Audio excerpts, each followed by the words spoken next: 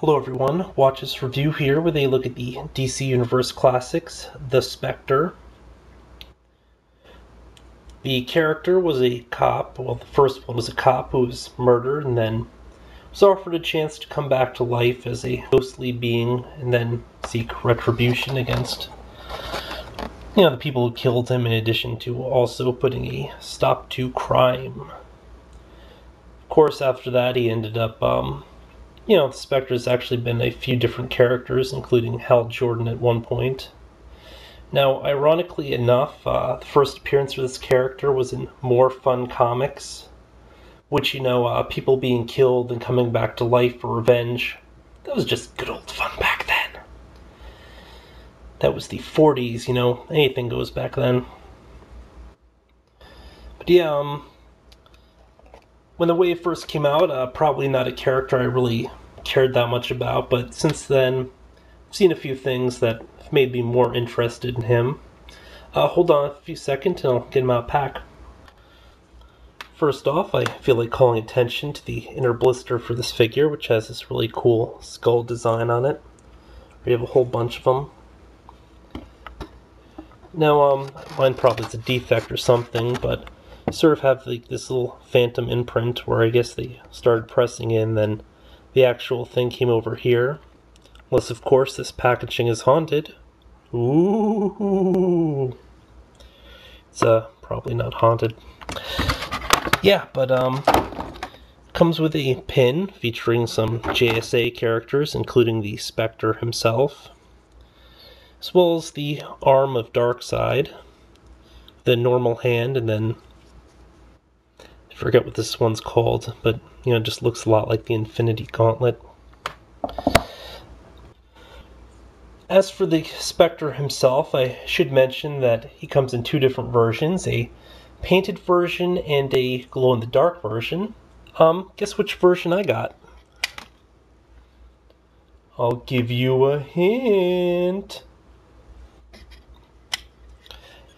But yeah, um, I opted for the painted version just because I thought it would look nicer, but ultimately, I mean, the glow in the dark one probably would have been a lot of fun as well.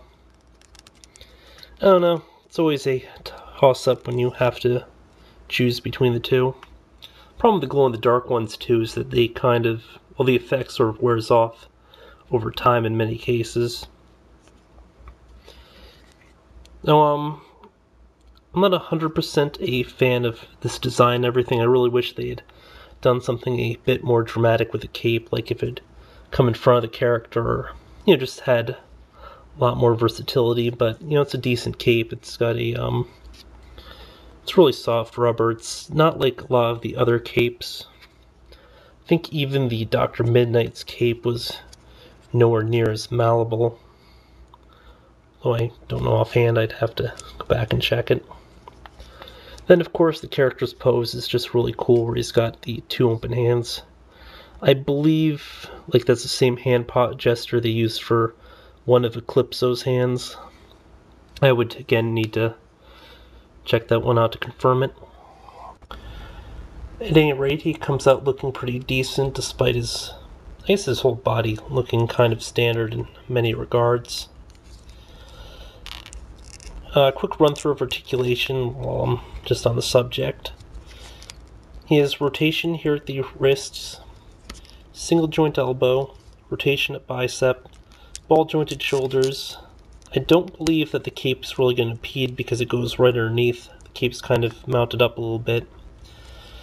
Ab slash diaphragm joint, waist joint, legs kick forward out, rotation here at thigh, single joint knee, then single joint here at the ankle. Uh, design wise, again, mostly standard parts, but the boots are a new sculpt and subsequently so are the calves because the upper portion of this boot is actually on the calf portion. So, of course, the gloves are just one separate portion. Now the head kind of has this hood, but the hood is attached. It's can't be pulled back or moved or anything. There's a um, darker, it's sort of like a black ink sort of tossed over the forehead area just to give the face more definition, I think. Kind of wish that they had done like something of a wash, you know, with just darkened portions in some areas. I mean, it looks like he kind of has the effect.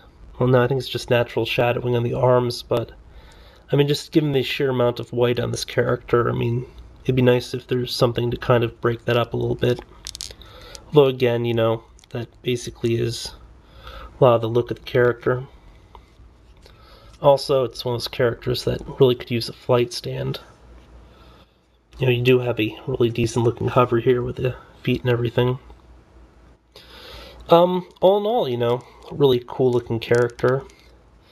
Probably not like one of my favorites or whatever, but definitely very neat. I'm not sure how I'll probably display them or whatever, but I mean, if I do buy flight stands, I probably will just pop them up on a wall or something someplace.